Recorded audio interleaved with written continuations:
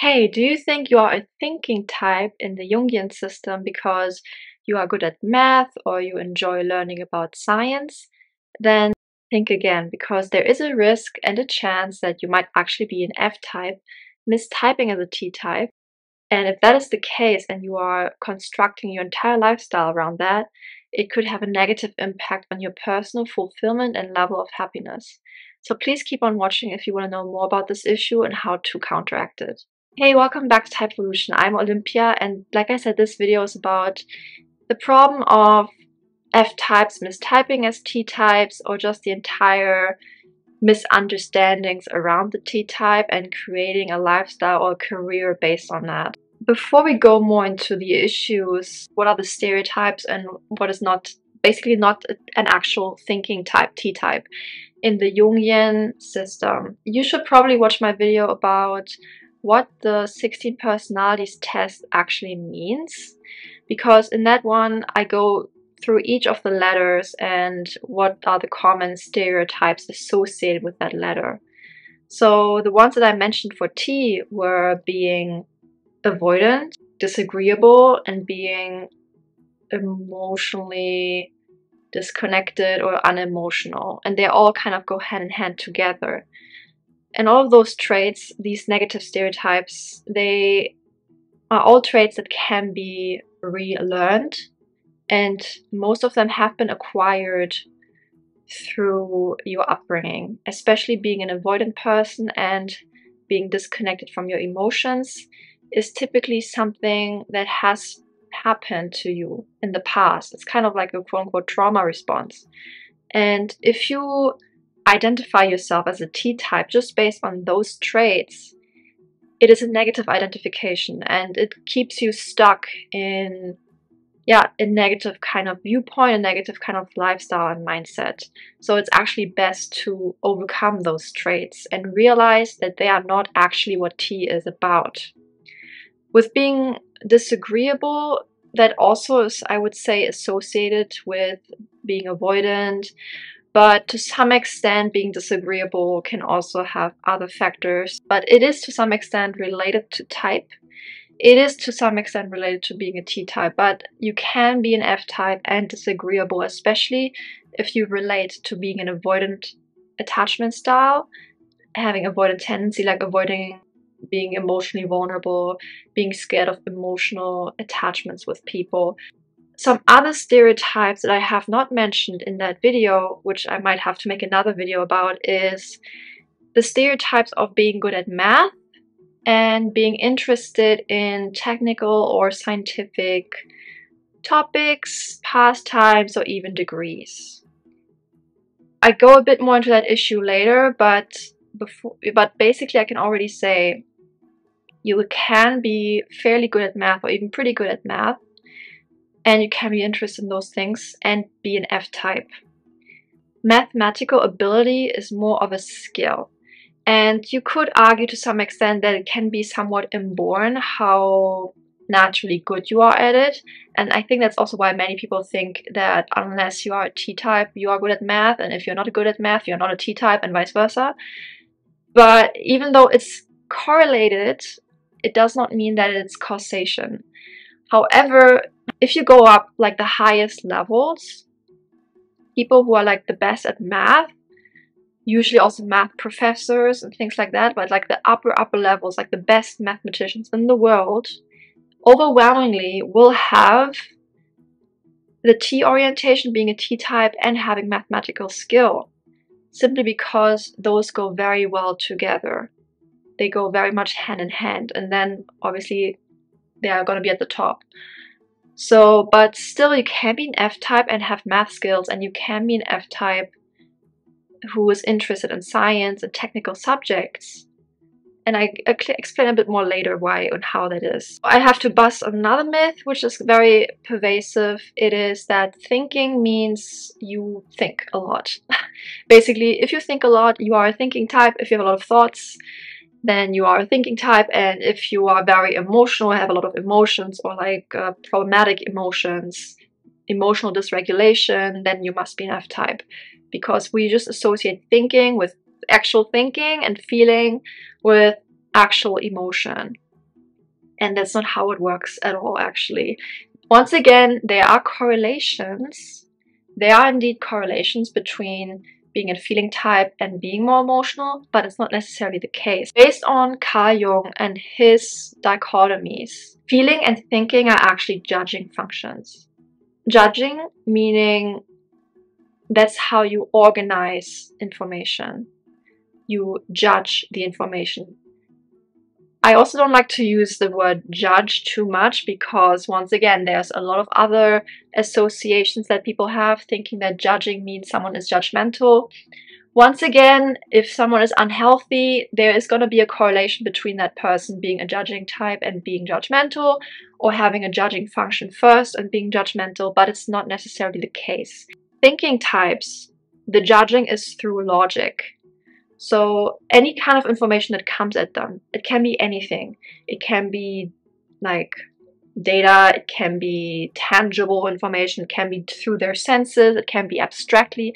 Information just means anything in the world that you take in, in some sense, cognitively. So the thinking type, they organize that information according to logical parameters. So, for example, what makes logical sense? What is the logical structure the logical hierarchy? What is the logical data, the facts, the logical understanding, the theory, the theoretical structure? That's what T types naturally tend to do when they are presented with information and they have to judge it, aka categorize it. And with the feeling types, I prefer what they call ethical and socionics, which is also a system based on the 16 types.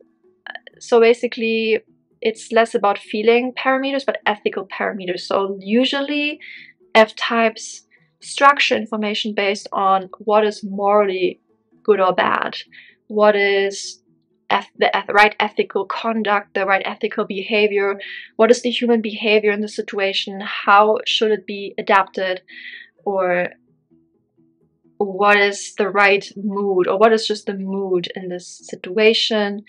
How is my personal moral compass my personal morals or immorals? By the way f types can be immoral and they can kind of go against their own moral code in a sense but they are still driven and still focused on judging the world through those through that lens they cannot really escape that. So that's roughly what the judging is truly about. And then, of course, I have to also point out that we all do both. We all use thinking, Jungian thinking, we all use Jungian feeling. We all judge or categorize information with either orientation.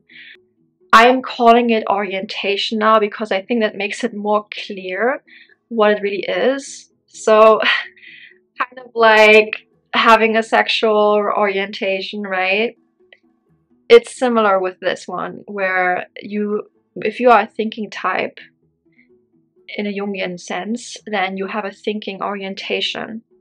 So inherently, your your cognitive mind is structured in such a way that you will naturally prefer using thinking. And by prefer, I don't mean necessarily that you value it higher, but basically that's just more natural for you to use it and also to use it well. And also to use it without having had to work on it so hard. It's it's not like you consciously have to make yourself think differently, which would be more the case if you're an ethical or feeling type that is going through the educational system and is uh, learning how to think logically, critically, how to uh, look at information from a logical, factual, evidence based perspective. You can do that if you're an intelligent F type.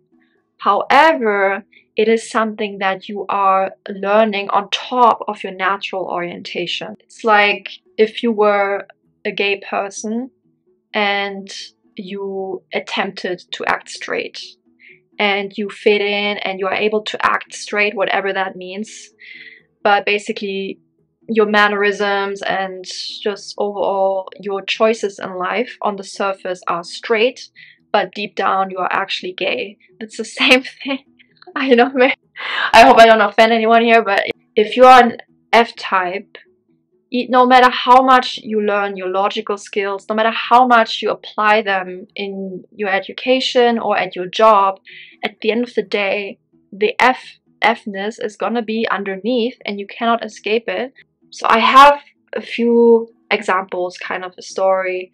Uh, so one story is uh, like a friend of mine who had really good grades in school, was very studious. And if you are very studious and pretty intelligent, you are able to be good at several subjects or even subjects that on the surface seem to be against your type. For example, it could be the sciences. Uh, yeah. So my friend, she, because she had such good grades, she was like the top of, I think, the entire year. Uh, and yeah, at the end of the day, she then decided to study physics. So actually, she knew she was an F type. I kind I told her, but she didn't really go too deeply into the theory. Obviously, she was just like, okay, I know I'm an F type, but I'm not sure. Yeah, okay, but she still went into physics because she didn't connect those dots where she tried to create a lifestyle that suits her personality. She just went along with the expectations of her parents and of her teachers and I suppose society in some sense. And her inner desire for completion, internal completion, internal wholeness, right? So basically this is a problem if you are only focused on either one of those two aspects or both of them and you make certain career or lifestyle choices it can and often is gonna be against your natural self. So expectations, right? Society probably a lot of parents, a lot of societal structures suggest that it's best to study something technical because it's gonna make more money. And in terms of the inner desire for wholeness, every F type on some level desires to have T as a complement every person, also every T type has a desire for F as a complement. We just need both aspects in our lives to feel whole. But the problem is we cannot do it by ourselves. We are we are interconnected. We are all you could say kind of like kind of in like a big, big web, web, of, of connection, connection, even though you might not realize it, but we need each other on some level. We are all kind of interdependent and that in turn means that you cannot do it on your on your own necessarily. You can be so to speak whole as who you are let's say. Like if you are an f type you can be whole as an f type or if you're a t type can be whole as a t type. But you cannot be both at the same time and not to the same degrees.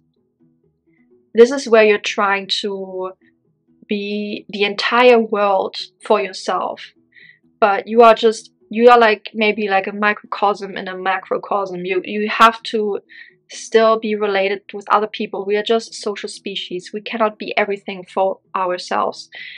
So in that sense, yeah. So I don't think she did that consciously, by the way, but this is my impression that that's why also why she studied physics. And she probably also met like T types at physics, obviously, which which is more natural, right? Anyhow, so yeah, long story short, she quit physics. It didn't work for her at all. And she had to keep switching up her her major because yeah, she was really confused and she had like a mini crisis, mini depression because she basically went entirely against the expectations of her parents, of society, you know, everyone expected her to do that degree or to do something scientific because she had good grades in it and she was just overall like really good at school. Yeah, that so that was like a negative example. Now she's studying sociology and she's much happier and sociology, as you can probably guess, is much more F friendly. It's much more connected to ethical human behavior, right? Uh, okay, another example, and this is not so much as a concrete example, but I have just noticed the overall trend of so many F-types getting into like a data in the data field, like IT, maybe even just the tech field and just doing something in the technical field and making a lot of money with it. But then later down the line, they realize it doesn't fulfill them because it's going against their personality. That's the thing. If you're doing something that is aligned with your personality, it is going to fulfill you and you won't have the desire to find something else. So, especially with women, a lot of women they are in the tech field and then suddenly they go into like makeup and uh, or like lifestyle blogging which are like very sf kind of pastimes uh, and with men they might do similar things they also might go into those fields it really depends on what the rest of your personality type is.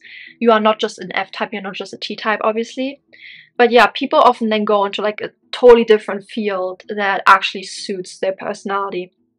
And that's often when you can tell, okay, this person, they tried to be like a T type, but at the end of the day, they were actually an F type.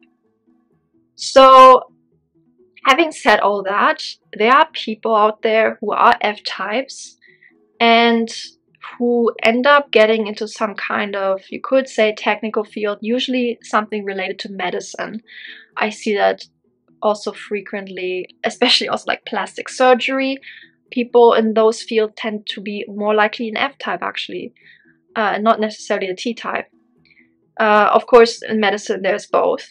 But yeah, so there are also F types in medicine. I, I would I would assume, especially nurses, but yeah so there's like medical fields that also can be going into logical territory where there are f types who can still thrive fairly well let's say and who still feel mostly fulfilled by what they're doing the key is that they have found a way to be in that field and still make use of their ethical function. Or on the other hand let's say they do that outside of work like in their lifestyle. For example they they do acting on the side and things like that so yeah i think also in the medical field especially if you deal with people on a regular basis it can make you employ your ethical feeling function with others more. So that also where it goes hand in hand.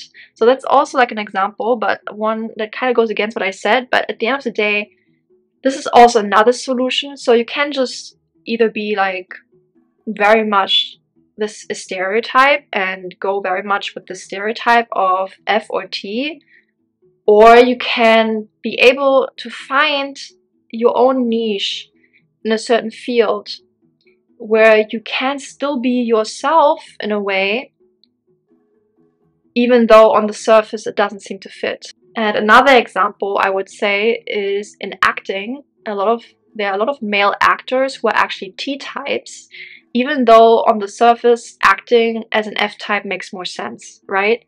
So I know this is actually a controversial typing, but I do think that Keanu Reeves is actually an ISTP. And you can see it also in the way how he acts. Literally, like, yeah, you can see he's not really an F type. He's trying to be the fact is, his best roles are the roles where he is typecast, basically based on his natural personality. So another example where you, in the field that, that on the surface doesn't suit you, your personality, but you can still make it work as long as you find a way to use your real personality. So really as a recap, what being a thinker or feeler is, it's about categorizing information cognitively. It's a cognitive orientation. And yes, certain skills go in, along better with those orientations, like the logical orientation, seeing things in terms of what makes logical sense, data, theories, things like that, versus what is morally, ethically good, bad, favorable, what are the moods, the human behaviors, how to assess those, and things like that. Those are the two orientations, and yes, you can do both, but you should be aware that if you're developing one over the like if you're trying to develop one over the other that you might shoot yourself in the foot if you overdo it. And if you create a lifestyle that is entirely based on something that you are much trying to be but you're not.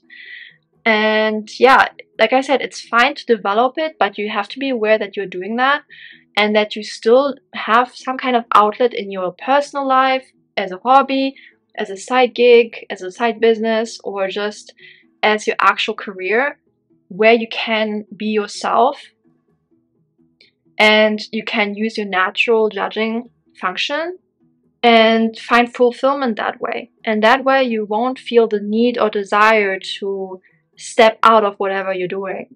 You won't, yeah, you won't have that need because you will be fulfilled because you're doing something that is in alignment with yourself, in alignment with your true personality. And that's ultimately the goal. Ultimately, that's the purpose of your type.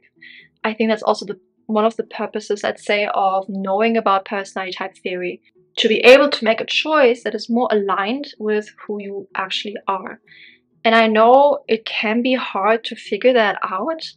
Let's say warning signs that you are mistyping your T or or that you are trying too hard to develop a weaker function that is not natural to you and you're trying to fit in into some kind of mold is first of all if you're obsessed and very much focused on fulfilling and meeting certain expectations it can be expectations from your parents it can be expectations from your society it can be expectations from perhaps your friends or some teachers if you are too focused on fulfilling certain expectations, there's a very high chance that you are not aligned with yourself. You are not listening to who you really are.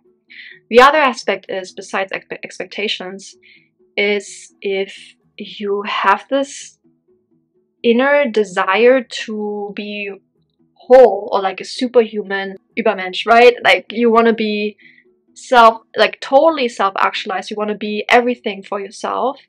And deep down you might even feel like you don't really love yourself. You don't really accept who you really are because that's actually oftentimes also at the core when you don't really love or accept who you are you will often try to be everything or you will try to be something different something else so if you internally feel like i don't really accept that i mostly make ethical judgments if you don't really accept that, or if you don't cannot really accept who you are, there's also a very high chance that any choice you make from that place is not going to be in alignment with yourself, and that you are likely mistyping yourself. Besides all the other stereotypes. If you are still confused, then just you can just reach out to me, go to typevolution.com, go under get advice, scroll down, fill out the form, and we can see how I can help you. I can coach you and or type you, and then we can go further with this subject. And you will have more of a personal insight into your situation. It's not as general as in this video. Alright, okay, I hope you have a good day and see you in the next video. Bye!